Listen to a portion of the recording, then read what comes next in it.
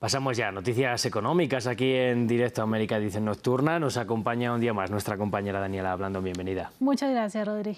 Bueno, Dani, y hoy si hay que hablar de economía, hay un tema estrella, que es ese acuerdo de granos que parece que Rusia no quiere renovar. Así que cuéntanos cómo afecta esto a la seguridad alimentaria en el mundo. Claro que sí, un tema que tiene tanto de largo como de ancho. Desde que se firmó hace un año, esta iniciativa ha permitido el envío de más de 30 millones de toneladas de alimentos desde Ucrania, principalmente a países en desarrollo, como lo vemos en el gráfico, 51% versus un 43% que se ha ido a los países desarrollados. El Programa Mundial de Alimentos ha enviado más de 700 mil toneladas para apoyar las operaciones humanitarias, aliviando el hambre en algunos de los rincones más afectados del mundo, incluido países como Afganistán o Yemen. Un ejemplo es Somalia, donde las lluvias escasas en los últimos tres años, sumado a un conflicto interno, han obligado a millones de personas a huir de sus hogares. Esta nación ha sido uno de los mayores beneficiarios de este pacto y ahora su seguridad alimentaria volvería a peligrar. Creo que es desafortunado que usemos los alimentos como una táctica política militar.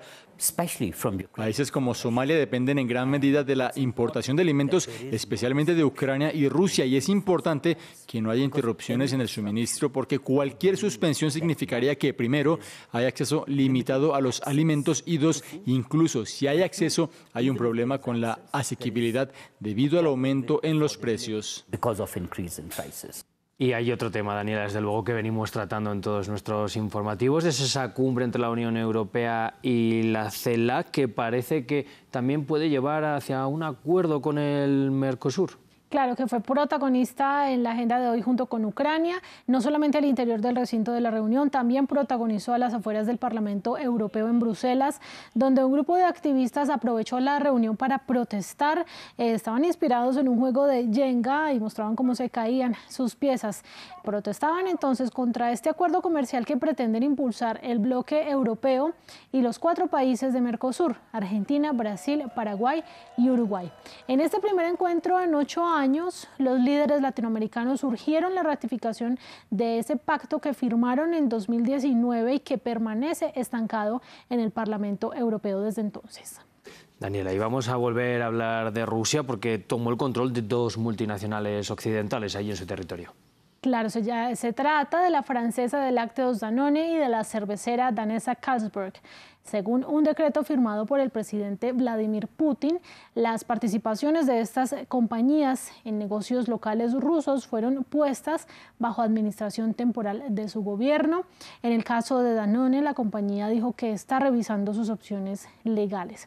Ahora, si nos vamos más allá en esta información, esta acción lo que hace es destapar la vulnerabilidad de otras empresas de productos de consumo que todavía tienen operaciones en Rusia, algunas de las cuales han anunciado planes de irse, pero también han tenido dificultades para vender.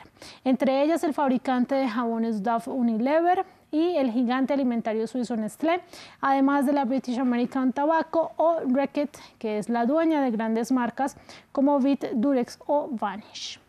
Pues muchas veces las sanciones de Occidente que también han afectado a Rusia, veremos cómo sigue. Claro que sí, y también la dificultad para vender, porque muchas de ellas quieren salir, pero no, no logran porque no ah. tienen un comprador que les dé suficiente dinero. Bueno, pues interesante, Daniela. Vamos ahora a una subasta de ropa de segunda mano, un tanto especial, porque se subasta un buzo de la princesa Diana de Gales. ¿Cuánto se va a pedir por ello, más o menos? Pues, Rodri, es un suéter rojo que representa una oveja negra solitaria entre hileras de ovejas blancas.